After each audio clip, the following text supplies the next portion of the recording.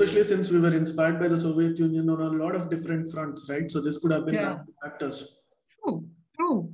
This could have been, and I now fail to understand why it wasn't. Um, so, Right. putting the word secular in your preamble doesn't really make you secular. When you are genuinely secular, you will treat all religions uh, in the same manner. And clearly, you're not treating all religions in the same manner. I'll tell you how. Uh, I want to move to the next part of Article 25. So, Article 25 first gives you these rights. Then it goes on to say, and I'll read it from here. I have it open here in front of me.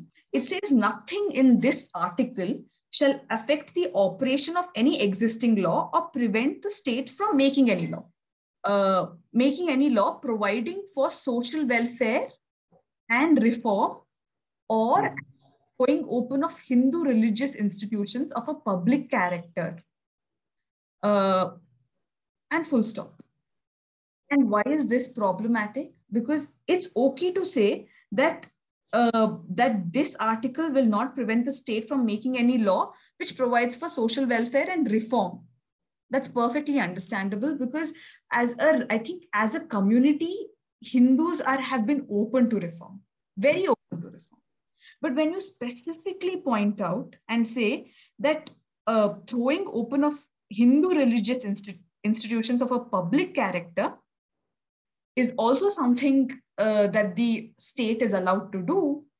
Now, why is it specifically pointed out here? And I think um, and it all starts from here, I feel. Because, Absolutely. These are the questions we need Yeah. to ponder on.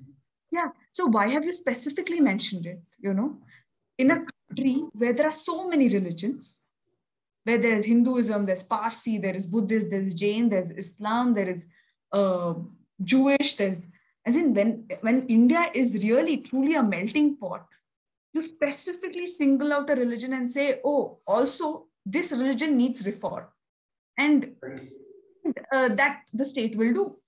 I agree that every religion needs to be reformed, and but why this treatment?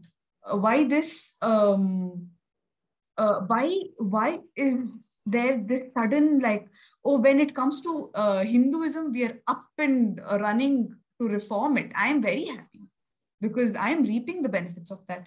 But when it comes to any other religion, you don't want to reform it. You know Right. that sort of uh, creates this communal tension. When sorry, last point. Mm. It, uh, when this I think comes from this uh, essential um, sort of this internal feeling that we are different from them. So somewhere the uh, Nehruji had this in his mind that that other okay they have to be treated in a particular way the majority has to be treated in a particular way. It comes from there.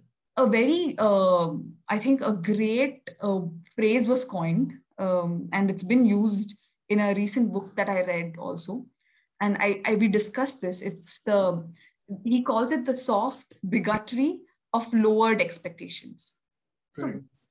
what I think this phrase really means is that your expectation from the minority community uh, is different. Like you think that if that community's um, personal laws are reformed, that that I don't know, as in that that it won't be appropriate or it wouldn't. Uh, uh, it I, I fail to understand actually what could be the thought behind it. But uh, in, in that manner, you're actually being a bigot Mm.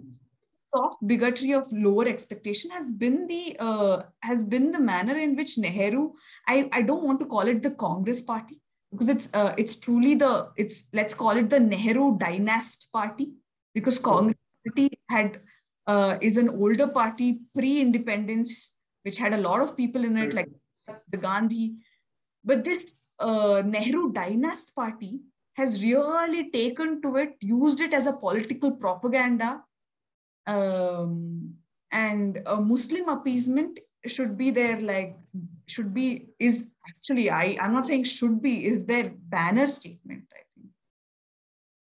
Please remember to subscribe to us and switch on the notifications for this channel. For our other social media links, more content, and to support our work, please visit citti.net. Dhanyavad. Namaskar.